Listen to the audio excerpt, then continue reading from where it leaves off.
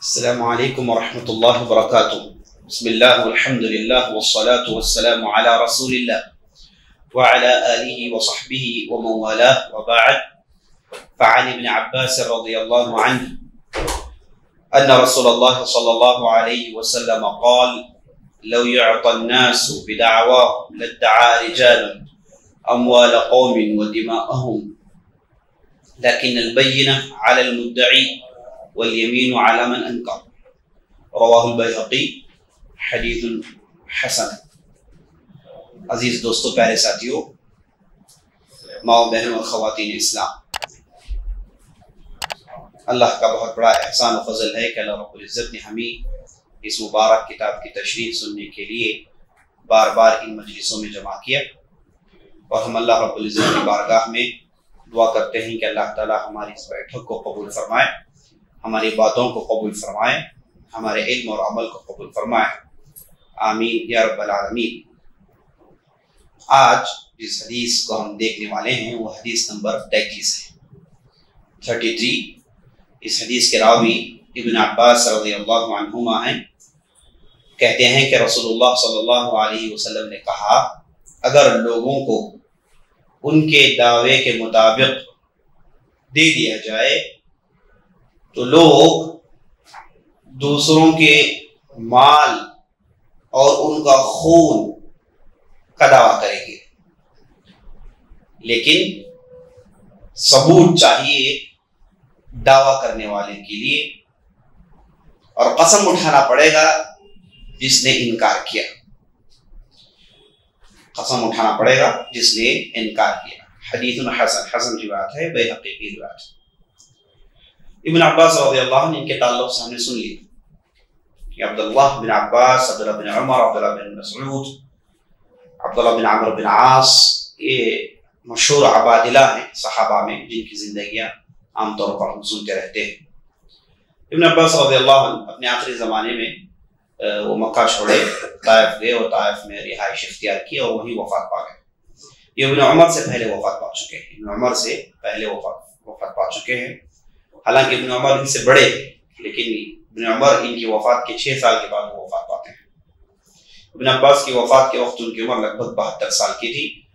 वफात से पहले अंधे हो गए थे। दोनों आँखें उनकी चली गई थी। आँखों में पानी आ गया था। लोगों ने कहा कि पानी निकालेंगे तो आपको पाँच दिन नमाज़ छोड़नी पड़ेगी। खड़कर बैठ कर पढ़ना पड़ेगा। सजा नहीं कर सकते आप। तो इब्न अब्बास ने कहा कि वो इलाज जिसकी मुझे कोई ज़रूरत नहीं, जिससे मेरी नमाज़ छूट जाए। और इसी हालत में उन्होंने वफात पाई। ये थे अब्बास उनकी रिवायत है, कहते हैं कि नबी वसल्लम ने कहा, अगर लोगों को उनके दावों के मुताबिक दे दिया जाए, लोग दूसरों की दौलत और दूसरों का खून का दावा करेंगे।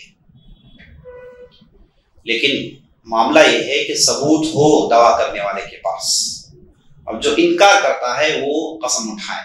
यहाँ पर आप सल्लल्लाहु अलैहि वसल्लम एक सिचुएशन के मुताबिक गुफ्तगु कर रहे हैं। एक सिचुएशन के ताल्लुक से गुफ्तगु कर रहे हैं। यह हदीस बहुत ही अहम हदीस है।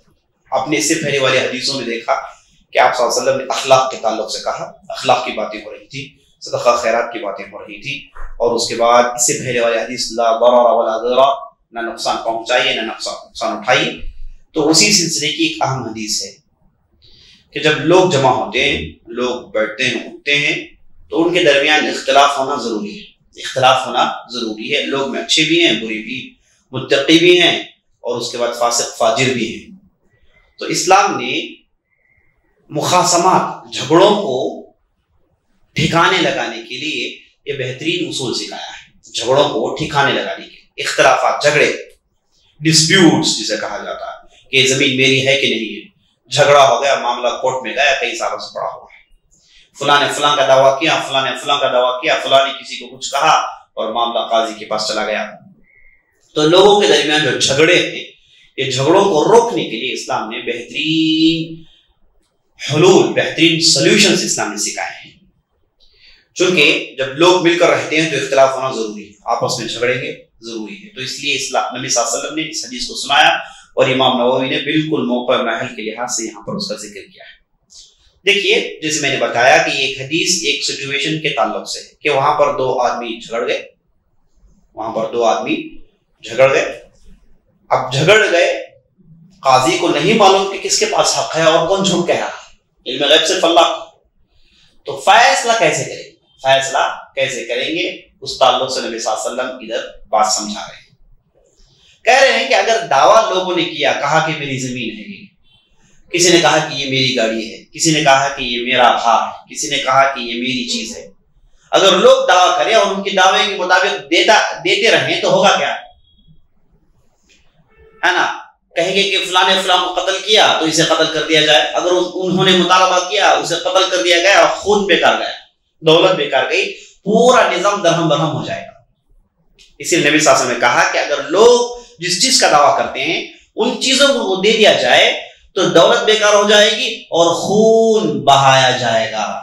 माना यह कि हर दावा करने वाला सच्चा नहीं होगा और हर दावा करने वाले को, वो दावा करते ही ये लीजिए, आपकी खिदमत में हाजिर है, उठाकर पेश नहीं किया जाएगा। बल्कि नबी शासन कहते हैं कि दावा उसने किया ठीक है। लेकिन दावे के साथ क्या होना चाहिए? लेकिन दावा करने वाले के पास सबूत होना चाहिए। दावा करने वाले के पास सबूत होना चाहिए। और जिसके खिलाफ दावा किया गया इसे अलमुद्दा अलई कहते हैं। एक है मुद्दई एक है मुद्दा अलई मुद्दई दावा करने वाला। मुद्दा अलई जिसके खिलाफ दावा किया गया। अब मिसाल के तौर पर मैं बता रहा हूँ कि किसी ने कहा कि भाई ये ज़मीन मेरी है। ज़मीन है। काजी के पास आए एक, साहब आए आकर कहा कि ज़मीन मेरी है। उसके बाद दूसरे आए आकर उन्होंने कहा कि नहीं नहीं ये तो ज़मीन मेरी है। नहीं नहीं ये तो ज़मीन मेरी। और जिसने दावा किया उसे कहेंगे मुद्दई जिसने कहा कि नहीं इनकार किया इसे कहेंगे मुद्दा तो झगड़े में आमतौर पर एक मुद्दई होता है और एक मुद्दा अलई होता है। मुद्दई वो जो दावा करता है, कहता है कि ये मेरा है। क्लाइम करता है, जैसे इंग्लिश में क्लाइमेंट कहते हैं क्लेम करने वाला। मुद्दा अलह डिफेंडेंट इनकार करने वाला। तो हर झगड़े में ये दो रुकन होंगे दो पिलर्स हैं दावों के प्ली के क्लाइम्स के, ये दो रुकन एक है मुद्दई एक है मुद्दा अलह एक है मुद्दई एक है मुद्दा अलह मुद्दई जो दावा करने मुद्दा अलह जो इनकार करता है। जैसे आपने इस केस में देखा कि ज़मीन का एक ने कहा कि ये मेरी ज़मीन है तो उसके बाद खिलाफ दूसरे ने कहा कि नहीं, ये मेरी ज़मीन नहीं है। तो कौन मुद्दाई है? जिसने कहा कि ज़मीन मेरी है।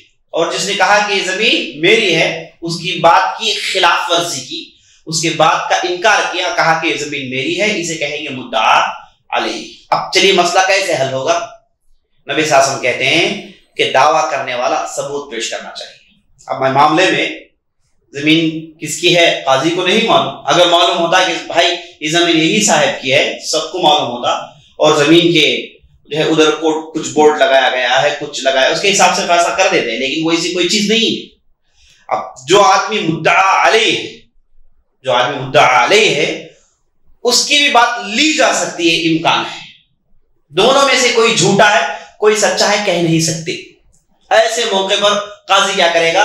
कहेगा कि तुम दावा कर रहे हो, लाओ सबूत लाओ, ज़मीन के कागजात लाओ। ज़मीन के कागजात लाओ। अगर इन्होंने बतौर सबूत कागजात पेश कर दिए और कागजात ठीक थे तो मुद्दाई का वो हक है, मुद्दा आले को कुछ नहीं मिलेगा, वो चलते बने। अगर मुद्दई ने सबूत पेश नहीं किया, कहा कि ज़मीन मेरी है भाई आबा अजदाद से ज़मीन चल रही है मेरे पास है लेकिन मेरे पास कोई सबूत नहीं है। तो काजी कहेगा, जिसने कहा कि नहीं, ये तुम्हारी ज़मीन नहीं, ये ज़मीन मेरी है, जिसने इसके दावे का इनकार किया, काजी कहेगा कि चलो भाई, तुम दावा कर इसके पास तो सबूत नहीं और तुम कहते हो कि ज़मीन तुम्हारी हो तो तुम चलो अब कसम उठाओ कि ज़मीन मेरी है। कसम उठाओ कि ज़मीन मेरी है। तो वो कसम उठाएगा तो उस कसम के मुताबिक उसके साथ फैसला किया जाए मिसाल के तौर पर एक दूसरी मिसाल। एक के पास, एक औरत के पास जेवर है, या फिर एक जेवर कहीं मिला। जेवर कहीं मिला। या फिर जेवर एक साहब के पास है। जेवर एक साहब के पास है, या फिर एक औरत के पास है। एक दूसरी औरत आई, आकर कहा कि जेवर मेरा है। अब कौन मुद्दई है, कौन मुद्दा आले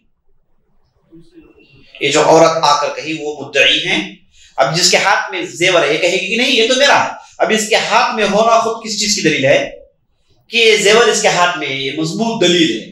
प्रॉपर्टी पोसेशन में हो तो वो पोसेशन वाला ही वो प्रॉपर्टी का हकदार है, यही उसूल है। यही डिफ़ॉल्ट उसूल है। तो इनके हाथ में जो जेवर है तो यही जेवर की मालिकन है। लेकिन ये दावा करने वाली कहेगी कि जेवर मेरा है। तो चलिए देखेगी कि तुम दावा कर रहे हो, चलो सबूत लाओ कि जेवर तेरा है, क्या सबूत है तेरे पास? सबूत लेकर अगर उसके पास कोई सबूत नहीं तो जिसके हाथ में जेवर है, उसे काजी कहेगा कि तुम्हारे हाथ में जेवर है। ये मालूम हो रहा है कि तुम्हारा ही है, लेकिन जब दावा हो गया है तो यहाँ पर शक पैदा हो गया तो चलो तुम कसम उठाओ। कहेगी अल्लाह की कसम में जेवर मेरा तो वो जेवर उसका हो जाएगा। वो जेवर उसका हो जाएगा। तो ये ये बहुत ही बेहतरीन सोल्यूशन है कि आदमी दावा करे तो सबूत लाए। दावा करे, सबूत लाए। अगर दावा के खिलाफ कोई जाए और उसके पास करीना है कि ये दौलत उसकी है तो उसे कसम उठाकर मसले से बाहर आ सकता है। ये आम उसूल है, लेकिन इसकी बहुत सारी शक्लें हैं। ये ये आम उसूल, यानी दावा करने वाला सबूत देगा और इनकार करने वाला कसम उठाएगा। ये आम उसूल है। लेकिन बहुत सारे ऐसे केसेस आप देखेंगे जिसमें इसे बदल दिया जाता है।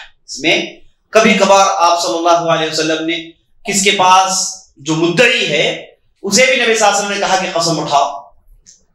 ये जो सबूत है, ये सबूत कभी कागजात हो सकते हैं, कभी किसी की शहादत हो सकती है। एक साहब आए, इन्होंने कहा कि ज़मीन मेरी है। कहा कि सबूत लाओ भाई, कहा कि इस एरिया के जो बड़े हैं वो मुझे जानते हैं। उन्हें लाया और उन्होंने शहादत दी कि ये ज़मीन इन्हीं की है। तो ये भी बतौर सबूत लिया जा सकता है। तो सबूत में किसी की शहादत चल सकती है किसी भी किस्म की दूसरी सबूत प्रूफ हो, सब चल सकता है। तो ये जो नबी वसल्लम जो केस हमको सुना रहे हैं, ये आम केस है। इसके अलावा बहुत सारे हमको शक्लें देखने को मिलती है। कभी कभार ये फैसलों में जो अहम चीज़ जो मद्देनजर रखना है, वो ये है। मद्देनजर रखनी है, वो ये है कि करीनों को देखे। करीना के क्या मतलब? दलीलों को देखे। सराउंडिंग जो दलील हैं दलाल हैं, उन्हें देखें और उसके मुताबिक फैसला करें। और कुरान के अंदर अल्लाह रब्बुल इज़्ज़त ने, बल्कि हदीस में एक वाक़ आया है दाऊद अलैहिस्सलाम का, कि एक बड़ी औरत थी, एक छोटी औरत थी, दोनों जंगल में थे तो एक भेड़िया आया, बड़ी औरत के बच्चे को उसने खा लिया। अब जैसे ही भेड़िए ने बच्चे को उठा लिया तो ये बड़ी औरत ने फ़ौरन कह दिया ये छोटी औरत को देख करके ये बच्चा मेरा है। छोटी औरत ने कहा कि बच्चा मेरा है। बड़ी औरत ने कहा कि बच्चा मेरा है। जो बच्चा मरा है, वो तेरा बच्चा है। अब भेड़िया लेकर भाग गया। पता नहीं कहाँ मरा अब ये केस दाऊद अलैहिस्सलाम के पास आया। तो दाऊद अलैहिस्सलाम ने उस बड़ी औरत की बात सुनी और उन्होंने कहा कि चलो ये बच्चा तुम्हारा है। बड़ी औरत के हक में उन्होंने फैसला सुनाया। ये मामला सुलेमान अलैहिस्सलाम देख रहे थे तो सुलेमान अलैहिस्सलाम ने उस औरत से, उस मजलिस में तो मुलाकात नहीं की, बल्कि मजलिस के बाहर उन दो औरतों से मिलते हैं, मिलकर कहते हैं कि जो फैसला सुनाया गया है इसे दो, तुम दो मुतमिन हो। छोटी जो थी, उसने कहा कि मुतमिन नहीं हुई तो बच्चा मेरा है।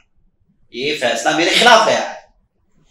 तो सुलेमान सलाम ने करीना देखने के लिए है ना? करीना स्ट्रॉन्ग इंडिकेशन स्ट्रॉन्ग दलील देखने के लिए फ़ौरन कहा कि खंजर लाओ खंजर लाओ, इस बच्चे को हम जबाह कर देते हैं। तो खंजर लाया गया, बच्चे को जबाह करने जा रहे थे तो छोटी ने बीत बिदा कर रोया और बड़ी खामोश रही। तो ये मज़बूत करीना है कि अगर इसका खुद का बच्चा होता तो ये बीत बिदा थी। इसका खुद का बच्चा नहीं तो वो जो कैफियत थी, उसके अंदर पाई नहीं गई। तो बाद में सुलेमान सलाम ने उस छोटी औरत के हक में बच्चे का फैसला सुनाया और कुरान ने कहा कि सुलेमान। हमने सुलेमान को इस मसले को समझाया। सुलेमान को ये मसला समझाया, जबकि दाऊद अलैहिस्सलाम को नबूत मिली और इल्म मिला, सब कुछ मिला, लेकिन इस मसले को हमने सुलेमान अलैहिस्सलाम को समझाया। तो ऐसे अज़ीज़ दोस्तों, मज़बूत करायन, ये ये आप जो सुने ये आम कायदा है, इसी पर चलेंगे हम। लेकिन ये कायदे को कई मरतबा तोड़ सकते हैं, अगर आपके पास मज़बूत मज़बूत करीना हो, मज़बूत दलील हो है ना, कि ये फला ही का हक है। अगर ये कसम उठा रहा है और वो सबूत पेश कर रहा है। लेकिन उसके बावजूद अगर कोई मज़बूत करीना, मज़बूत दलील काजी को नज़र आए और काजी के लिए बिल्कुल जायज़ है कि उसके मुताबिक फैसला सुनाए। उसके मुताबिक फैसला सुनाए। अच्छा आपने देखा कि दावा करने वाला सबूत पेश करे, इनकार करने वाला कसम उठाए। यही तो आपने कादा सुना इस हदीस से। एक ऐसा केस है जिसमें बिल्कुल आप ने बरक्स कर दिया। दावा करने वालों को कसम उठाने पर मजबूर किया। और इनकार करने वालों से कहा कि सबूत बिल्कुल आप वसल्लम मामले को बरक्स कर दिया। ये मसला फ़िक्र किताबों में अलकसामा के नाम से मशहूर है। अल कसामा फ़िक्र किताबों में अलकसामा। अलकसामा कहते हैं, दो कबीले हैं। इन दो कबीलों के बीच में अदावत है। झगड़े तो एक कबीले वाले का आदमी एक कबीले वाला, दो में से कबीले वाला, मरा हुआ मिलता है, कत्ल किया हुआ मिलता है। अब ये जो कबीला, मकतूल का कबीला, जिसका कत्ल हुआ, वो कबीले वाले, ये कहें कि इसे कत्ल करने वाले वो कबीले वाले हैं। क्योंकि हमारे दरमियान अदावतें चल रही थी तो उन्होंने इस आदमी को कत्ल किया। उन्होंने इस आदमी को कत्ल किया। ये नबी वसल्लम के जमाने में मसला पेश आया। दो कबीले थे तो ये कबीले वाला मरा हुआ मिला। तो ये कबीले वाला, ये कबीले वाले जो मखदूल के कबीले वाले थे, उन्होंने कहा कि कत्ल करने वाला कबीला असल ये कबीला है। तो नबी सल्लल्लाहु अलैहि वसल्लम गए, जाकर ये मकतूल का जो कबीला है मकतूल का जो कबीला है, इस कबीले वालों से कहा कि चलो तुम पचास आदमी लाओ और पचास लोग कसम उठाएँ। पचास लोग कसम उठाएँ कि इस आदमी को कत्ल करने वाला यही कबीला है। तो उसके बदले नबी वसल्लम ने फैसला सुनाया कि फुला ने कत्ल किया। तो पचास लोग आए, कहा कि ये कबीले में फुला आदमी, इस आदमी ने कत्ल किया। पचास लोगों ने कसम उठाई। पचास लोग मिलकर एक आदमी के ताल्लुक से शक करते हैं तो शक मज़बूत शक है। है ना? मज़बूत शक है। तो पचास लोगों ने कहा कि इसी ने कत्ल किया, क्योंकि झगड़े हो रहे थे और ये आदमी आगे आगे था। तो पचास लोगों ने उसके खिलाफ कसम उठाई तो नबी वसल्लम ने इसके बदले उसे कत्ल कर दिया। दावा करने वाले कौन थे? यही थे और यही लोगों ने कसम उठाई। तो ये कसामा एक एक मुस्तकिल केस है जिसमें नबी वसल्लम ने इस कायदे को बदल दिया। ये जो कायदा आप सुन रहे हैं, इस कायदे को बदल दिया। अब आपने सुना कि सबूत किसे पेश करना चाहिए? दावे करने वाले कसम किसे उठाना चाहिए? इनकार करने वाले आप देखेंगे बहुत सारे मसाइल में कि कसम उठाने वाला कभी उससे सबूत पूछा जाएगा। और जो सबूत रखा हुआ है, कभी उसे कहा जाएगा कि तू भी कसम उठा। और कभी कभार कसम उठाने के बाद शहादत को लाया जाएगा विटनेसेस को लाया जाएगा। तो यह काजी के लिए झूठ है कि वो हालात को मद्देनजर रखते हुए, तहकीक करते हुए मसले पर अपना फैसला सुनाए। लेकिन उसके लिए बेस क्या है? डिफ़ॉल्ट कायदा क्या है? यही है जो आप हदीस सुन रहे हैं कि दावा करने वाला सबूत दे और इनकार करने वाला कसम उठाए। इनकार करने वाला कसम उठाए। अगर वो कसम उठाने से इनकार करे तो मजबूर किया जाएगा कसम उठाने। मजबूर किया जाएगा कि कसम उठाने कसम उठाना पड़ेगा उसे है ना?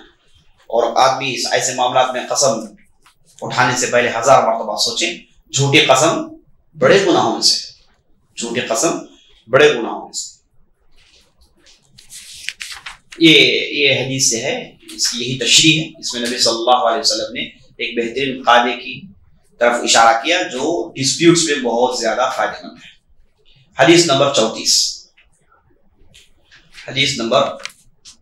34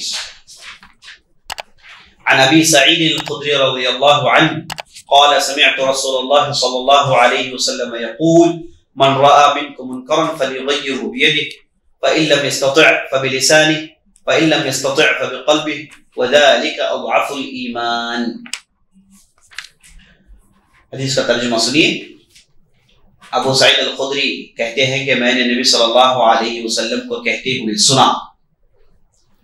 तुम में से किसी ने किसी मुनकर को देखा तो फ़ौरन अपने हाथों से उसे बदलेगी अगर अपने हाथों से बदल नहीं सकता तो अपने जबान से बदले।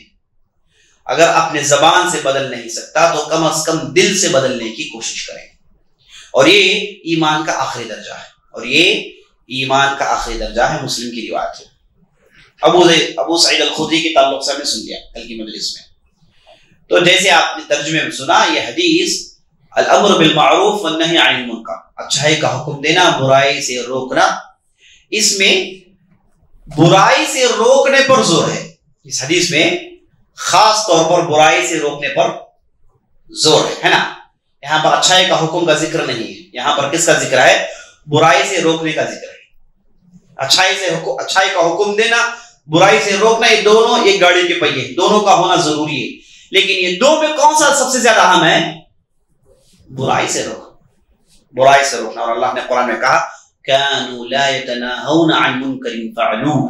यहूद के ताल्लुक से कहा कि इनके अंदर जो सबसे बड़ी बदतरीन कबाहत ये है कि ये आपस में बुराई से रोकते नहीं है। नहीं अनिल नहीं अन अनिल मुनकर इनके अंदर पाया नहीं जाता। और इसी आयत के आगाज़ में ऐसे लोगों पर अल्लाह की लानत हुई दाऊद सलाम के जबानी कि ये बुराइयों को देखते थे रोकते नहीं थे। तो बुराइयों को देखकर खामोश रहना, ये ज़बरदस्त अजाब को खींच लाने के मुतरदिफ है। आदमी बुराई को देखकर खामोश रह जाए, समझ लीजिए कि वहाँ से बर्बादी का आस। पहले बुराई से रोकना है, बड़ा दर्जा नंबर दो, दर्जा अच्छाई का हुक्म देना। हमारे माशरे में बाज लोग ऐसे हैं, इसे बिल्कुल उल्टा समझते हैं। सिर्फ़ अच्छाई का हुक्म देते हैं, बुराई से रोकते नहीं। और कायदा यह सुनाते हैं कि हम अच्छाई सुनाते रहेंगे सुनाते रहेंगे सुनाते रहेंगे, खुद ब खुद लोग बुराई से बच जाएँगे। है ना? ये सिर्फ़ अच्छाई सुनाना ज़रूरी समझते हैं, बुराई से रोकना समझ, ज़रूरी नहीं समझते।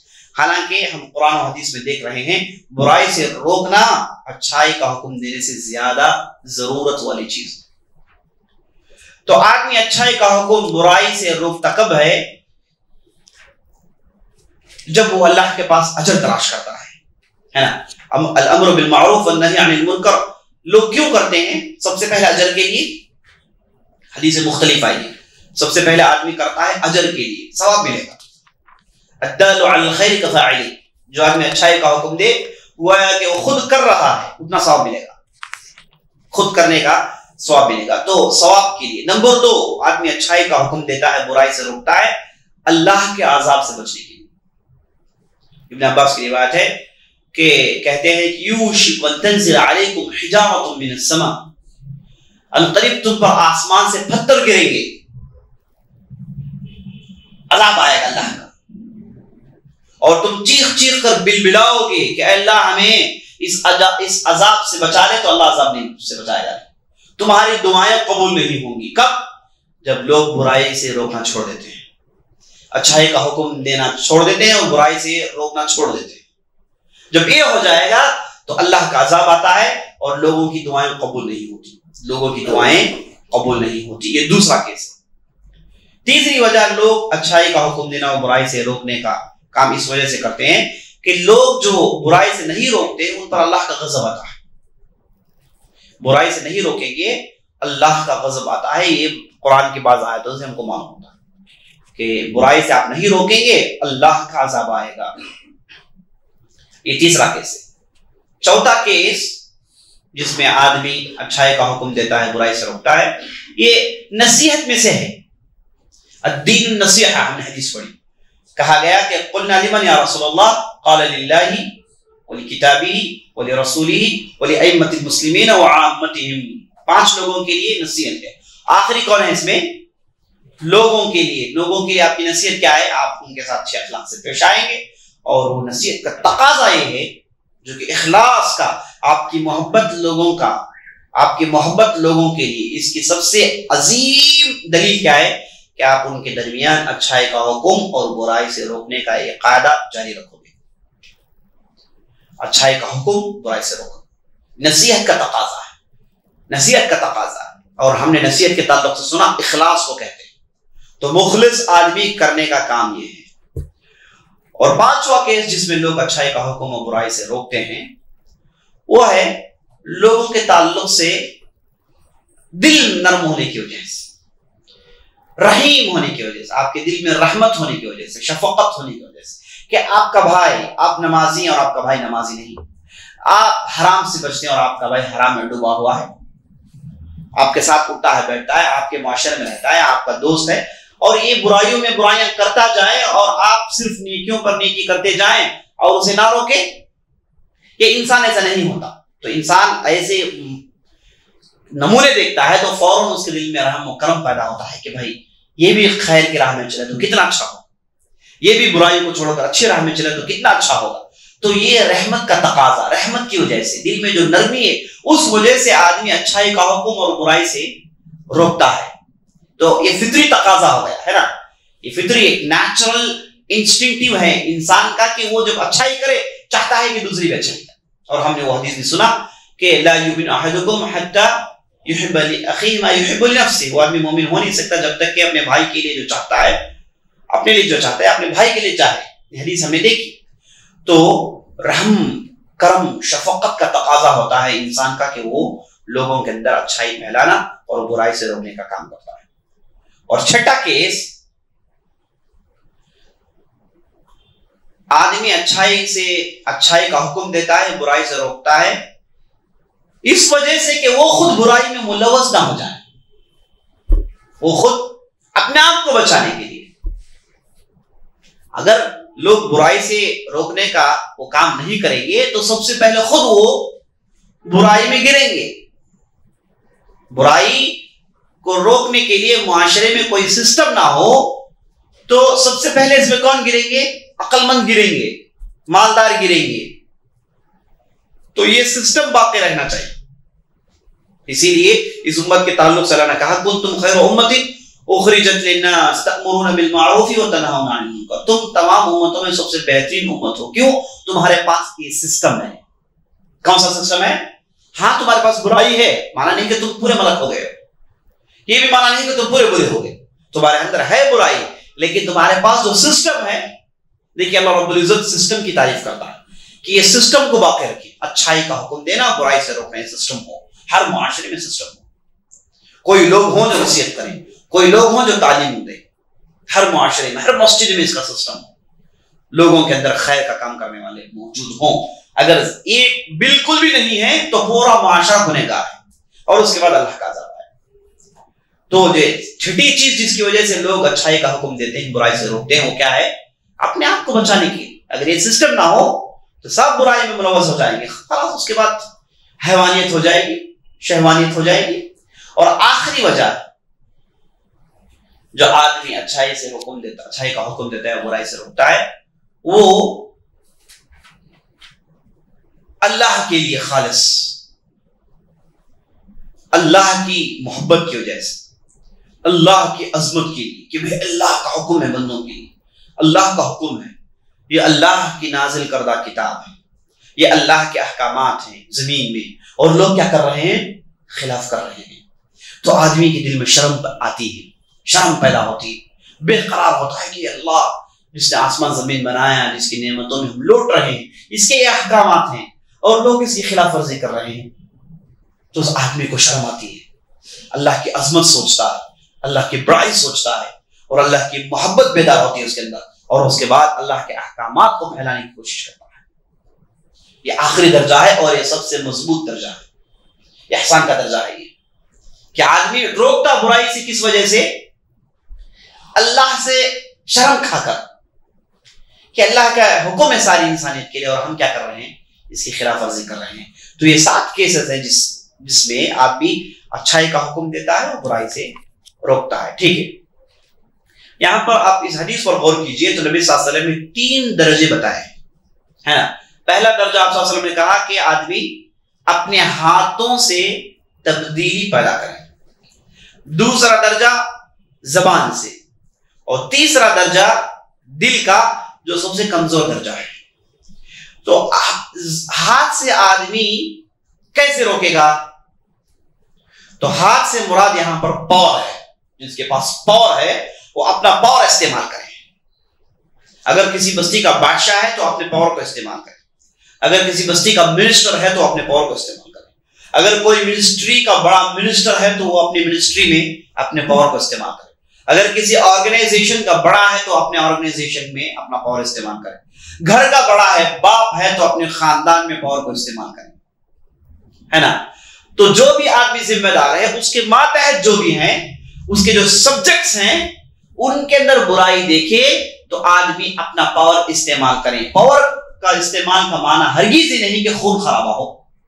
पावर का इस्तेमाल का माना हरगिज नहीं कि आप बदसूरत हो जाएँ, आप गाली गलोच में उतर आए झगड़े में उतर आए बद अखलाक हो जाए, ये माना नहीं। पावर अकलमंद आदमी पावर इस्तेमाल करना जानता है। अखलाक के साथ, नरमी के साथ आदमी अपना पावर इस्तेमाल करे और अपने सब्जेक्ट्स को लॉक करें कि वो वो बुराई पर न जाए। एक ऑर्गेनाइजेशन का बड़ा है कि देख रहा है कि यहाँ पर है ना? फ्री मिंगलिंग है। तो उसके हाथ में पावर है।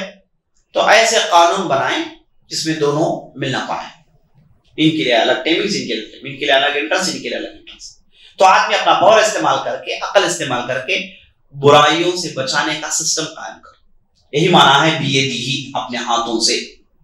अपने हाथों से। अपने हाथों से रोकने के ताल्लुक से यहाँ पर अहले ने अगर कोई जालिम बादशाह है, उसके खिलाफ खरूज करना है, उसके ताल्लुक से भी लंबी गुफ्तु की, क्योंकि जुल्म चल रहा है, क्या इस जुल्म को अपने हाथों से रोकेंगे नहीं? रोकना चाहिए। इस हदीस की रोशनी में तो वही मालूम है बात हाथ से आप रोके। कैसे रोकेंगे? पावर से रोकेंगे आप। तो ये हदीस की रोशनी में बाज लोगों ने बादशाह के खिलाफ खरूज करना जायज़ समझ गए, समझ लिए, जो कि शरीयत के खिलाफ है, जो कि अम साल के खिलाफ है। बादशाह के खिलाफ खरूज करना किसी भी हालत में जायज़ नहीं। अलबत् आप जिस हिस्से में हैं मिसाल के तौर पर आप इस्लामी हुकूमत के आप मिनिस्टर हैं, या फिर आप एक अहम अहदेदार हैं तो आपके मातहत आप कोई बुराई चल रही है और आपने वहाँ पर चलने नहीं दिया, ये आपकी ज़िम्मेदारी है। अब यहाँ पर ये भी बहस चढ़ गई कि बादशाह जो बुराई करता है, फासिक है, फाजिर है, क्या उसे जाकर सीधे उसके पास अल अमर बिल मारूफ मुनकर का काम करें। सीधे उसके पास चले जाए। तो इस ताल्लुक से भी अहले ने खुद खूब लिखा। अगर बादशाह नसीब कबूल करने वाला है तो ठीक है, लेकिन आमतौर पर बादशाह ऐसे नहीं होते। जैसे इमाम अहमद बिन हम्बल कहते हैं कि आप बादशाह के पास जाने से परहेज करो कि क्योंकि उसकी तलवार हमेशा नंगी होती है। उसकी तलवार हमेशा नंगी होती है। तो इमाम अहमद बिन यहाँ तक कह दिया, इमाम अहमद बिन हम्बल और दूसरा इमा ने, अगर बादशाह के पास जाने की वजह से आपके जान में खतरा आएगा, आपके जिसम में खतरा आएगा, कोई दूसरा आपको डिफेक्ट होगा तो आप पर वाजिब नहीं आप पर पावर इस्तेमाल करके रोकना आप पर वाजिब नहीं आप खामोश रह जाइए। आप अपने हिसाब से जो काम कर सकते हैं, कीजिए। आप जिस दायरे में, उस दायरे में काम कीजिए। क्योंकि बादशाह वो अपना पावर इस्तेमाल करेगा और आप खाम खा अपना जान खो बैठोगे। और बादशाह के पास खून के अलावा कोई दूसरी चीज़ नहीं होती। है ना? किसी को रास्ते से हिटाना चाहे तो आदमी को खत्म कर देता है, क्योंकि वो उसी में खैर समझता है। तो ये बादशाहों की तारीख है। बहुत ज़बरदस्त जालिम बादशाह भी गुजरे हैं, जिन्होंने अपनी बस्तियों को बर्बाद किया। और अहले जमाने के यही कहते रहे कि ये तुम्हारे आमाल की वजह है। तुम पर जो जिम्मेदार बैठे इतना जुल्म करते हैं, इसकी वजह तुम्हारे आमाल हैं। तुम तुम्हारे आमाल को दुरुस्त कर लो, ऊपर वाले बदल जाएँगे। अल्लाह कोई नेक आदमी को लाएगा ऐसे ही तारीख में बहुत कई मरतबा हुआ। तो पहला दर्जा पावर का इस्तेमाल करना। और सबसे मज़बूत दर्जा है। सबसे मज़बूत दर्जा है। और दूसरा दर्जा अपनी जबान का इस्तेमाल करना। अपनी जबान से मुराद दलील देना, डिस्कस करना, उनसे मुनाजरा करना, उनसे बातचीत करना। बुराई देख रहे हैं आप और आपने जबान भी नहीं खोली तो वो जबान बेकार है। वो मुँह में रहने के काबिल है ही नहीं। जो जबान बुराई देखकर खामोश रहती है, वो जबान मुँह में रहने के काबिल नहीं। वो जबान और क्या इस्तेमाल है? तो बुराई देखते ही आदमी बेकरार हो। जो एहसान के दर्जे में जो दावत का काम करते हैं, वो बुराई देखते ही उनके अंदर बेकरारी पैदा होती है। हम आमतौर पर, हमें ऐसे बहुत सारे होते हैं कि जो जानते हैं किसकी अहमियत, लेकिन वो बेकरारी और तड़प पैदा नहीं होती। जो एहसान के दर्जे में अल्लाह से शर्म खाकर जो दावत का काम करते हैं, वो बुराई देखते हैं तो उनके अंदर बेकरारी पैदा हो जाती है। कि कैसे हो रहा है? ऐसे तो होना नहीं चाहिए। तो बहुत दूर की सोच से। बेकरारी पैदा होती। है तो जब बेकरारी पैदा हो और आपने जबान नहीं खोली और ये दूसरे दर्जे में हम हैं, हो सकता है कि पहला दर्जा हमारे इस माशरे में हमें ज़्यादा सूट ना करें, लेकिन ये दूसरा दर्जा, ये तो हम हर आदमी कर सकते हैं। आपकी जबान में कोई रोक ठाक नहीं। आप बुराई देखें तो खोल कर कह सकते हैं। आप जहाँ कहीं भी गए, बुराई चल रही है तो आपने अपने वाज और नसीहत से काम लिया। ये बहुत बड़ी चीज़ है, ये तो होना चाहिए। और उसके बाद नबी साहब ने कहा कि आप ऐसे माहौल में हो, जबान खोलोगे तो खत्म कर दिए जाओगे। बातचीत करोगे तो खत्म कर दिए जाओगे। ऐसे बदतरीन माहौल में हो, या फिर आप इतना डर रहे हो कि जबान खोलो तो कहीं बात ना बिगड़ जाए। जबान खोलो तो मैं, मेरी जात तो ना चली जाए। अगर आप उस मरहले में हैं तो कम अज कम आपको दिल में तो सोचना चाहिए कि बुराई है। और ये आखिरी दर्जा है, और इस दर्जे में हमेशा आप नहीं रह सकते, क्योंकि ये बाउंड्री है, इसके बाद बाहर जाने का इम्कान है। ये हदूद है इसके बाद बाहर जाने का इम्कान है। तो आदमी तीसरे दर्जे में ना रहे, यानी सिर्फ़ दिल ही में ना सोचेंगे बुराई है, बल्कि दूसरे दर्जे में कम अज कम रहे, जबान खोलें। और इस माशरे में हमारे लिए इसकी खुली छूट है कि आप जबान खोलें।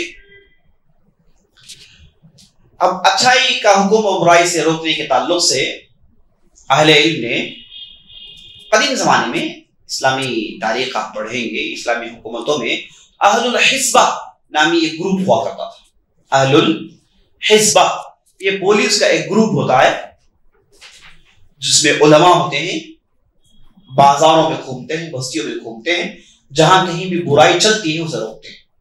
और ये ग्रुप और ये कमेटी जो भी कही आप, ये डायरेक्ट बादशाह के हाथ में होती है।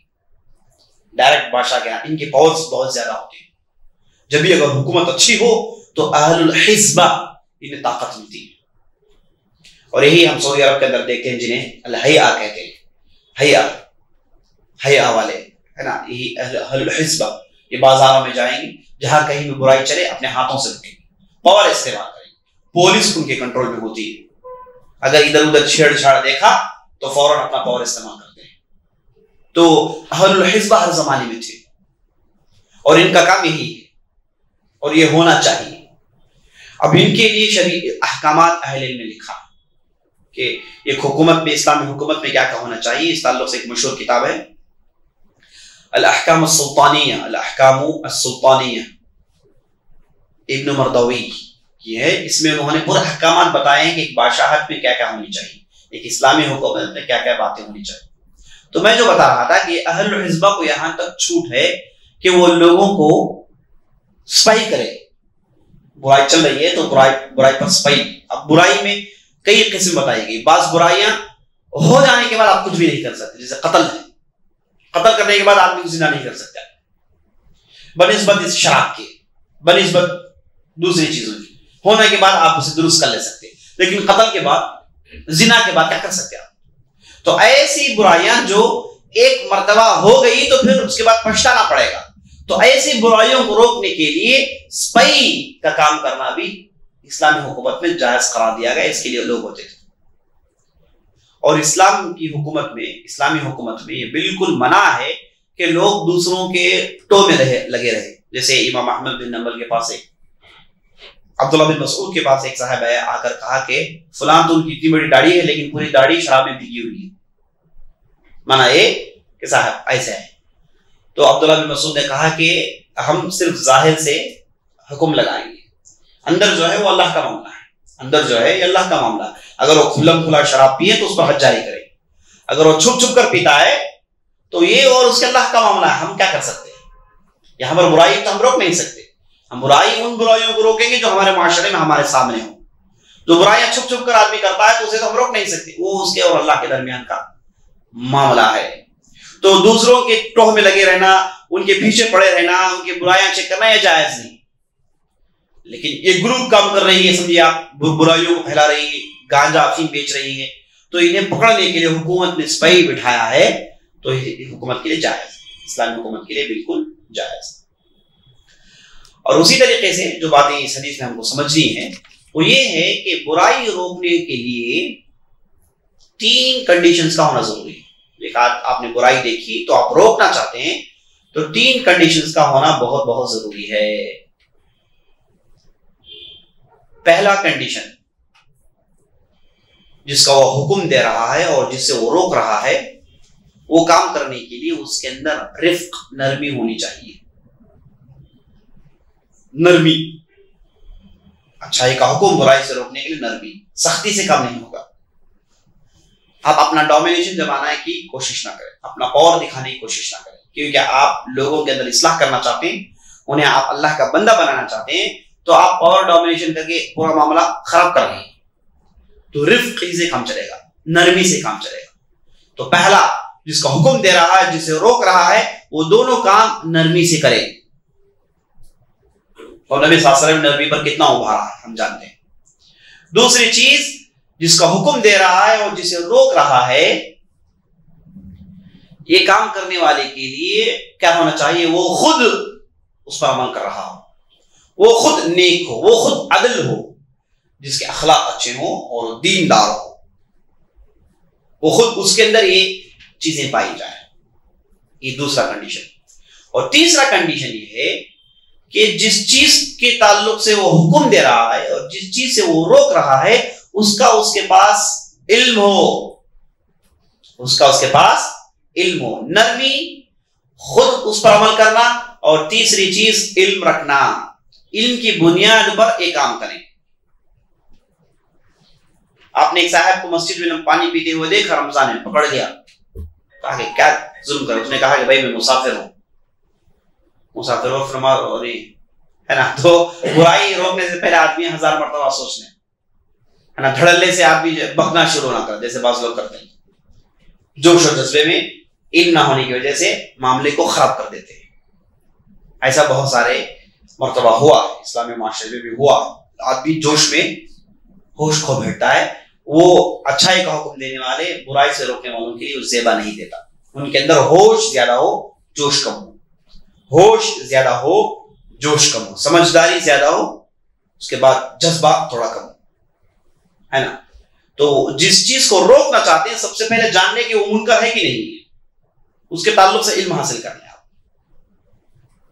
है ना? उसके बाद जाकर उसे रोके। अब बाज मसाइल ऐसे हैं जो वाजिब है, जैसे आप जानते हैं। मुतफक है इसमें कोई इख्तलाफ नहीं। बाज मुहर्रमात हैं, जिसमें इतफाक है कि कोई किसी ने इसे हलाल नहीं किया।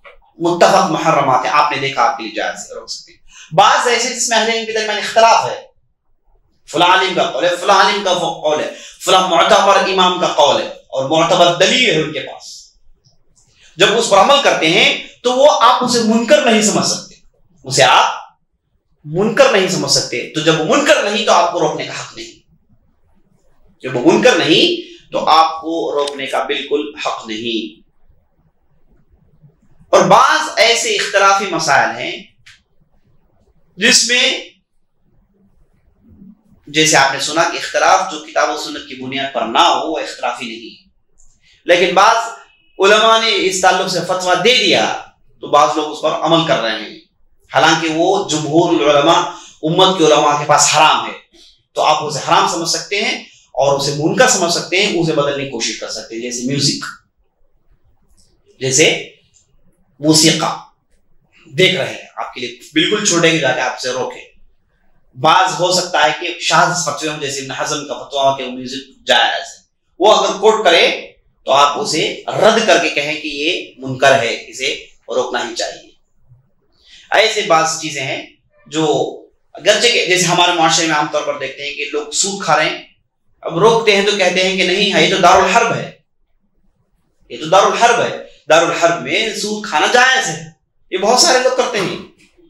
बहुत सारे आप देख रहे हैं जो आमतौर पर जो शिमाल से आते हैं, इनके अंदर मैंने देखा है कि ये फतवे पर अमल करते हैं। सूद धड़ल्ले से लेते हैं धड़ल्ले से देते। कहते हैं कि ये क्यों भाई दारुल हर्ब है? हम कहते हैं कि दारुल हर्ब है। ये किसने कह दिया तुम्हें? ये कौन कहा कि दारुल हर्ब है? पहली बात। दूसरी बात, अगर दारुल हर्ब भी है तो क्या वो माहौल है? दारुल हर्ब में हराम पालन करना कब जायज़ है? जैसे आप देख रहे हैं कि बस्तियाँ उजड़ गई। बस्तियाँ उजड़ गई हैं। लोगों के लिए रहने का कोई ठिकाना नहीं है। पूरा पूरी हालत अब नॉर्मल है। ऐसी सूरत में बाज हराम चीज़ें हलाल हो जाती हैं। क्या वैसी हालत है इधर हिंदुस्तान? वैसी तो हालत नहीं। तो एक फतवे को लेते हैं, जो शाज फतवा है, उसे तोड़ मोड़ कर हराम पर अमल धड़ल्ले से कर रहे हैं। तो धड़ल्ले से रोकने की इजाज़त। किसी भी आप देखिए, चाहे उनकी दाढ़ी जितनी भी बड़ी हो, जितनी बड़ी उनकी टोपी हो, आप कहिए कि चीज़ हराम है। सूद खाना हराम है। जिना से बदतर चीज़ है। बल्कि इससे भी गई गुजरी हुई चीज़ है। रोक सकते हैं। तो एक है मुतफ़ल मुहर्रमात, जो मुनकर समझ के आप मुतफ़ल जब चाहे रोक सकते हैं। एक है जिनके ताल्लुक से शाज फतवे हमारे माशरे में हैं, उसके खिलाफ भी आप आवाज़ उठाएँगे, उसके खिलाफ भी आप रोकने का काम करेंगे। हाँ बाज ऐसे मसाइल हैं, हो सकता है कि आपके पास वो हराम हो, लेकिन दूसरे एक मोतबर आलिम के पास, मोतबर इमाम के पास उसकी दलील हो और वो लोग उस पर अमल कर रहे हो। उसे आप रोकने का हक नहीं रखते। उसे आप रोकने का हक नहीं रखते। अलबत्ता आप देख रहे हैं कि कोई नमाज़ में गलती कर रहा है, वो दुरुस्त करना आपका काम है, क्योंकि नमाज़ में गलती मुनकर है। है ना? तो बाज सुन्नतों की तरफ़ दावत दे सकते हैं, बाज नफिलों की तरफ़ दावत दे सकते हैं। आपने देखा है कि साहब नमाज़ पढ़ रहे हैं, लेकिन सुन्नत पर अमल नहीं कर रहे हैं। तो आप उन्हें नसीहत कर सकते हैं कि भाई आप सुन्नत पर अमल करें, जायज़ बल्ले मानने वालों आया कि उसूल के मुताबिक। तो ये सब इसके अंदर दाखिल है।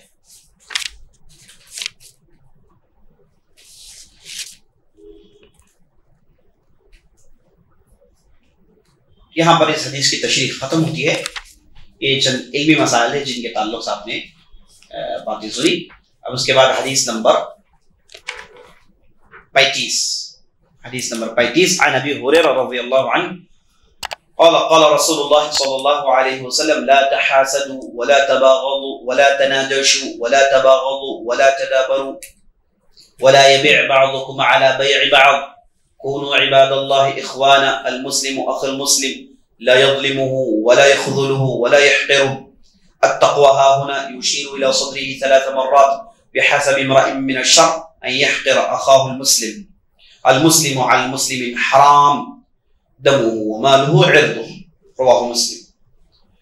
अबू हुरैरा रज़ियल्लाहु अन्हु कहते हैं कि रसूलुल्लाह सल्लल्लाहु अलैहि वसल्लम ने कहा आपस में हसद मत कर लो आपस में नजश मत कर लो।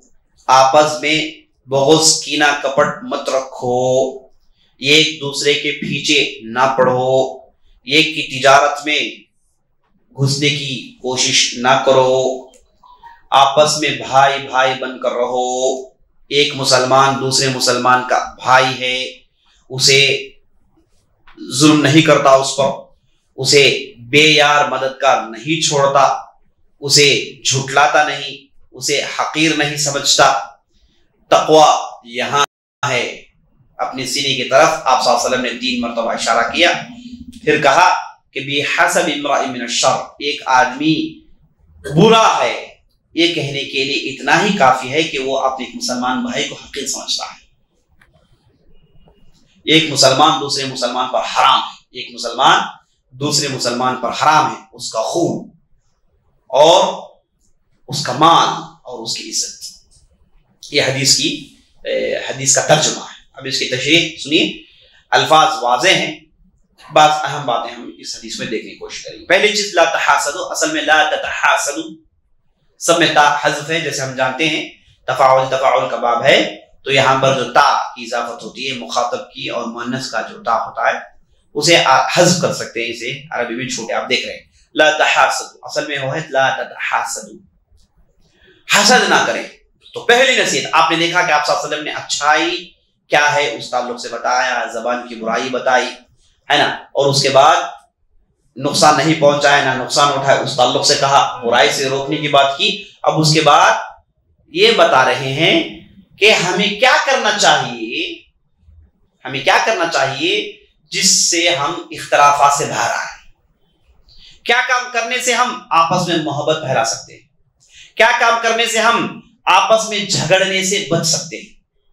हमारे अंदर झगड़ा क्यों आता है? क्या करने से झगड़ा आता है? और वो उसे कैसे छोड़े? वो कौन कौन सी चीज़ें हैं छोड़ने की? वो आप वसल्लम ने इस हदीस में जमा कर दिया। पहली चीज़ जो हमको नहीं करनी है, मोहब्बत का दुश्मन हसद। आपस में हसद ना करें। हसद का माना क्या है? कि आप अपने भाई के अंदर आपने किसी नियामत को देखा, आपने चाहा कि वो नियामत बर्बाद हो जाए। एक, ये भी हसद है। और दूसरी किस्म की हसद यह है कि आप अपने भाई के अंदर नेमत देखते हैं और चाहते हैं कि वो नेमत आपके तरफ़ मुंतकिल हो जाए और वो उससे खाली हो जाए। ये भी हसद है। और तीसरे किस्म का भी हसद ये है कि आप अपने भाई के अंदर नियामत देखते हैं, चाहते हैं कि वो नियामत उससे कम अज कम चली जाए आपको आए या ना आए उससे तो चली जाए। ये बदतरीन किस्म का हसद है। बदतरीन किस्म का हसद है। तो हसद की भी अकसाम तो ये, ये आपने अपने भाई के अंदर नियामत देखी चाहा कि वो नियामत से वो कोरा हो जाए या फिर वो नियामत उसकी बर्बाद हो जाए या फिर वो उससे मुंतकिल होकर इसके पास आ जाए। ये सब हसद ये सब हसद है, इस ताल्लुक से आदमी बहुत चौकन्ना रहना चाहिए हसद से अपने दामन को बचाना चाहिए। और हसद एक बदतरीन जुर्म है। हसद सबसे पहला गुना है जिसे आदम की पैदाइश के बाद इबलीस ने किया। उसने हसद किया तो आज वो शैतान शैतान है। तो आदमी हसद से बचना चाहिए। अपने भाई के अंदर आपने नियमत देखी तो हाँ आपके लिए छूट है कि आप कहें कि अल्लाह वो नियमत मुझे भी चाहिए। आप अपने भाई के ताल्लुक से ऐसा सोचना बिल्कुल जायज़ नहीं। अच्छा ये हसद इंसान की फितरत में। ये हसद अब बच्चों में भी देखेंगे छोटे बच्चे, लेकिन उनके अंदर वो चीज़ पाई जाती है। फितरत ने हमारे अंदर इसे रखा है। क्यों रखा है? ताकि आप अपनी हिफाजत करें। हसद एक कुदरती चीज़ है, जिसे अल्लाह ने अपने अंदर रखा है इंसानों के अंदर, ताकि आदमी अपनी अपनी चीज़ों की हिफाजत करें। है ना? सब अपनी अपनी चीज़ों की हिफाजत करेंगे तो सब बस्तियों में महफूज रह सकते हैं। अगर उनके पास ये चीज़ कुदरती तौर पर नहीं है, छोड़कर जाना है, छोड़ के चले जाते हैं, किसी की वो परवाह नहीं करते तो फिर कोई दौलत की हिफाजत नहीं होगी बस्तियाँ तरक्की नहीं पाएँगे। लेकिन अल्लाह ने इसे फितरत में रखा और इसके नुकसान से दूर कर दिया, इसके फ़ायदे को बाकी रखा। इसका फ़ायदा यह है कि आपने अपने भाई के अंदर नेमत देखी आप भी चाहते हो ऐसी आपके पास नेमत। तो आप क्या करेंगे? कोशिश करेंगे हासिल करने की। तरक्की करेंगे, डेवलप करेंगे, प्रमोट करेंगे, चाहिए। आपने दूसरे भाई के अंदर नेमत देखी चाहा कि वो चीज़ उसके पास ना हो तो शरीयत ने कहा कि हराम मत करो इसे। शरीयत ने कहा कि हराम इसे मत करो। तो हसद के वो नेचर को बाकी रख के इसके नुकसान से इंसान को दूर रखने की शरीयत ने कोशिश की इस्लाम ने यही कोशिश की। और यही आप सुन रहे हैं। तो हसद से आदमी कैसे बचें? फितरी तौर पर आदमी के अंदर चीज़ पैदा हो जाती है तो सबसे पहले क्या करे आदमी? अपने नफ्स जिहाद करें, जिहाद अकबर करें। और जिस ताल्लुक, जिस आदमी के ताल्लुक से हसद पैदा होगी उसके हक में सबसे पहले दुआ करें। है ना? दुआ कर। जैसे आपने दुआ कर लिया, आदमी अकेला रहता है, दुआ करता है तो इखलास के साथ करता है। अल्लाह के साथ छोड़, झूठ तो नहीं कह सकता आदमी। अल्लाह के पास हाथ उठाकर कहता है कि अल्लाह उसे बरकत दे। यहाँ पर झूठ नहीं कह सकता। हो सकता पब्लिक ही झूठ कहे, लेकिन अकेला है तो अपने आप पर झूठ नहीं, पागल ही करेगा। तो सबसे पहले उसके हक में दुआ कर दे तो ये हसद के शिकंजों से बच जाएगा। औरतें देख रही हैं, किसी के पास दौलत है, फुलाए फुलाए फुलाए तो सबसे पहले उनके हक में दुआ कर दें। तो हसद के वो नरगे से आदमी बच सकता है। है ना? अच्छा आदमी ने हसद, वो मामला को देखा, उन नियमतों के ताल्लुक से सोचा। सोचा, लेकिन कुछ भी नहीं किया। ये हसद मुजिर नहीं। दिल में बात आई कि वो नियमत उसके पास है। मेरे पास वो नियमत नहीं आप बेकरार हो रहे हैं। है ना? कोई क्लियर पिक्चर नहीं आपका। आपने कुछ किया भी नहीं। तो ये हसद गैर मुजर है शैतान का वसवसा है, आप इसे बाहर आना चाहिए। लेकिन हसद कब खतरनाक होगा? जब आपने उसके मुताबिक अमल किया। उसे ज़ाहिर करने की कोशिश की। हसद में आदमी आता है तो सबसे पहले करता क्या है? गीबत करता है। चगलखोरी करता है। उसके बाद इंतकाम बदला लेता है। यानी सब हसद के पीछे आने वाली बुराइयाँ हैं। तो इंसान बिल्कुल ऐसे नहीं हो सकता कि बिल्कुल उसका सीना खाली हो जाए। हसद से मुकम्मल तौर पर खाली हो जाए। एक वक्त हो सकता है, फिर दोबारा आ जाएगा। फिर खाली करे, फिर आ जाएगा। ये सिलसिला जारी रहेगा दुनिया में। है ना? अगर किसी ने इसे बिल्कुल अपने दिलो दिमाग से निकाल दिया, जरा बराबर भी उसके अंदर ये नहीं तो बहुत बड़ा आदमी बहुत बड़ा आदमी, वाकई वली आदमी, वली सिफत आदमी ऐसे लोग हैं अलहमदुल्ला तो अब हसद आ जाए तो करें क्या? यही बातचीत हमारी। अब बातचीत ये है कि हसद तो ना करें मुतफक बात। कोई नहीं कहता है कि हसद करना जाए मुतफक आ जाए तो करें क्या? आ जाए तो सबसे पहले आप उनके हक में दुआ करें।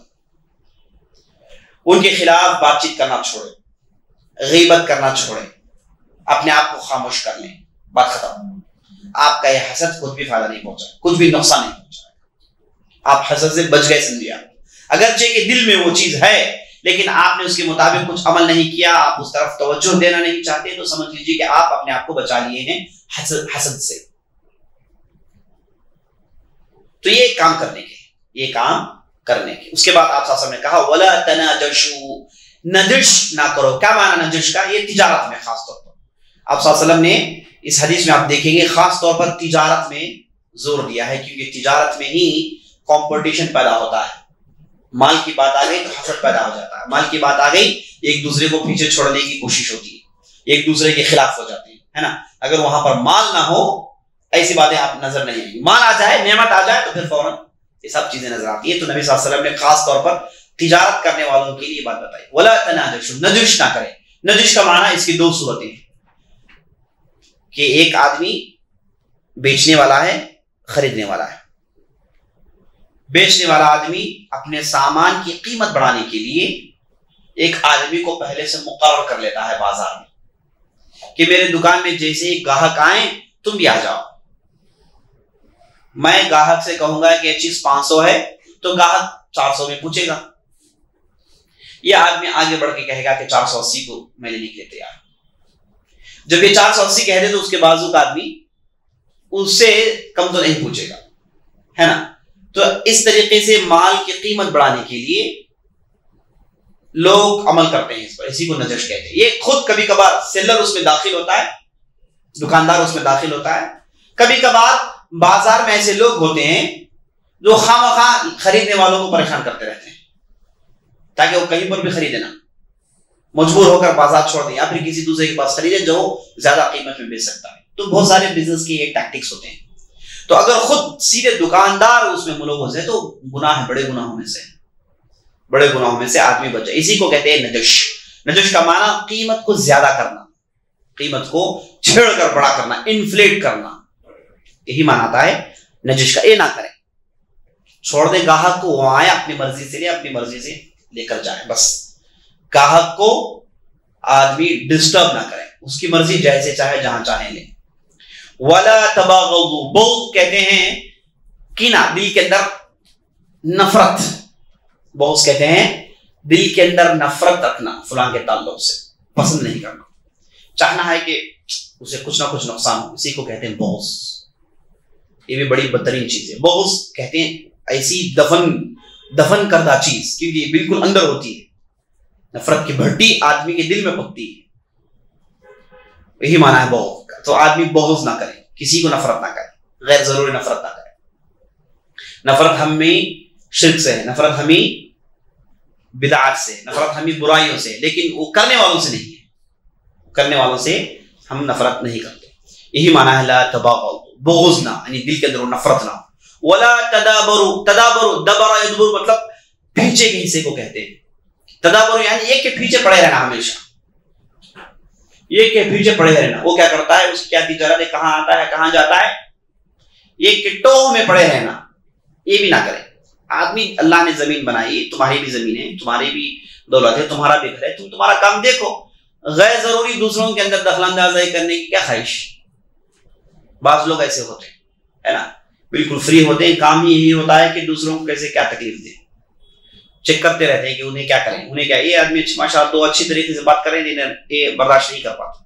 दो गुफ्तु अच्छी तरीके से करें, इन्हें बेकरारी शुरू दे क्यों दोनों बात कर रहे हैं? हालाँकि उन्हें कोई ताल्लुक ही नहीं है। ना? ऐसे जो है बदतरीन तबीयत के लोग हमारे माशरे में नज़र आते हैं। वही माना है, ला तदाबो ये ना होना चाहिए। वला ये एक की तिजारत में दूसरा घुस के तिजारत ना करें। आपके पास ग्राहक आया आप तिजारत कर रहे हैं, इतने में दूसरे साहब दौड़ कर आए, आकर कहा कि यही चीज़ मैं और कम कीमत दे सकता हूँ। ये कैसे हो सकता है कि एक ही वक्त हो नहीं सकता? कि मैंने आपको सामान दिया, कहा कि भाई तीन दिन तक आपके लिए मोहलत है, आप सामान रखें, उसके बाद पैसे दें।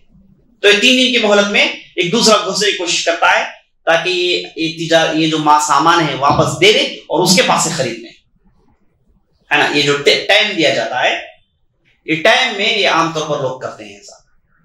दूसरों की तिजारत में घुसकर उनकी तिजारत को खराब करने की कोशिश करते और उसी तरीके से इसमें ये बहुत आम लफ्ज है, इसमें बहुत सारी सूरतें दाखिल हैं। कि आप एक दुकान रखे हुए हैं जहाँ पर तिजारत कर रहे हैं, बिल्कुल ऐसी दुकान बगल में किसी दूसरे ने खोल। ली मकसद ये था कि आपसे कॉम्पिटिट करें। अगर बाज़ार है, कोई बनता है अलग बात है। बाज़ार नहीं है, आप एक अलग जगह अपनी दुकान रखें जहाँ आपकी तिजारत चल रही है। तो वही तिजा, वही जैसी, उसी जैसी तिजारत को बगल में किसी ने खोल लिया चाहता है कि वो आपके बिज़नेस में दखल अंदाजी करें। ये बिल्कुल जायज़ नहीं। ये बिल्कुल जायज़ नहीं। है ना? फलां के पार्टी हैं। आप उसके पास एक जमाने तक काम कर रहे थे। जैसे काम छोड़ा, आपने पूरे पार्टियों को अपनी तरफ़ कर लिया। साहब की तिजारत ठप होगी बिल्कुल जायज़ नहीं। बिल्कुल जायज़ नहीं। है ना? दूसरों की तिजारत में दखल अंदाजी करना किसी भी एतबार से जायज़ नहीं। आपने तिजारत छोड़ दी, आप अपनी तिजारत शुरू कर ली। लोग आपके पास आ रहे हैं। आपने किसी को नहीं बुलाया, ये अलग बात है। ये अलग बात है।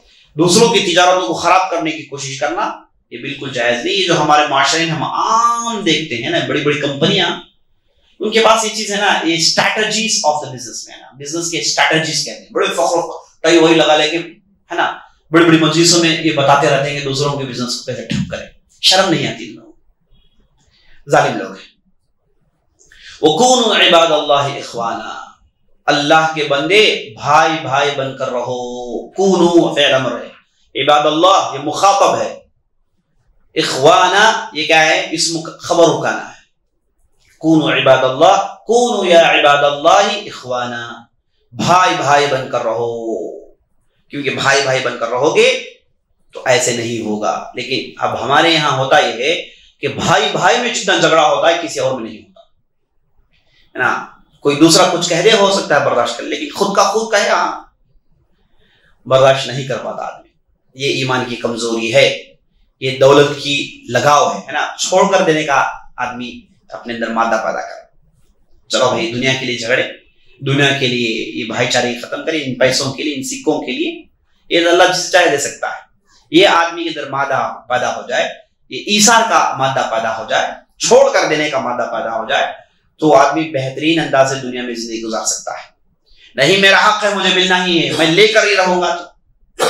फिर झगड़े, फसादात आम होते रहेंगे और बहुत सारी प्रॉपर्टियाँ हमारे इस माशरे में निकल जाएगी। बहुत सारी प्रॉपर्टियाँ नज़र आएँगी। पचास पचास साल तीस तीस साल। वजह यह है कि भाइयों के दरमियान डिस्प्यूट है।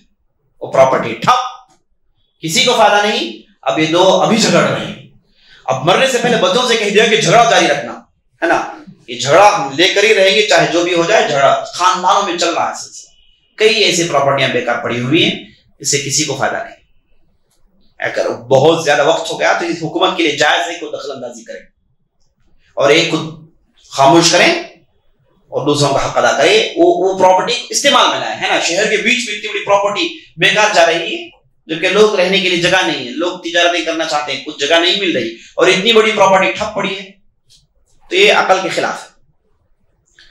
तो भाई भाई बन कर रहे हैं। तो आपस में खूनी खूनी जुल्म है ना, सबसे कवी जुल्म माना जाता है।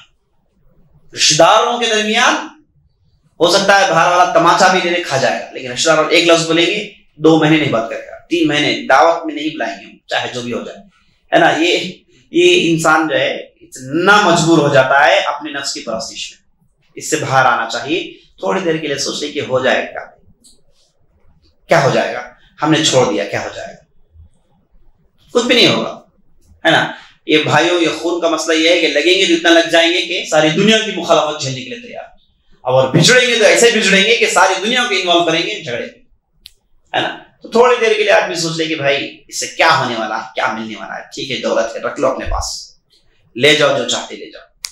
है ना? ये मादा पैदा हो जाए तो बहुत बड़ी बरकत होगी हमारे समाज में। तो उसके बाद शासन ने कहा, अल मुस्लिम मुस्लिम, एक मुसलमान, दूसरे मुसलमान का भाई कायदा है।